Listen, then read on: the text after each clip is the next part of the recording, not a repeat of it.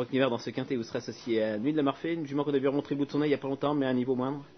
Bah, la dernière fois, elle a très bien couru, mais c'était dans un réclamé, mais elle a été battue par Master Perrine. C'est pas si mal que ça. Euh, là, 2100 mètres, euh, je pense que c'est son truc. Elle avait bien couru euh, par le passé sur cette distance. Euh, normalement, euh, elle est prête à faire sa course. Elle a bien recouru monter après.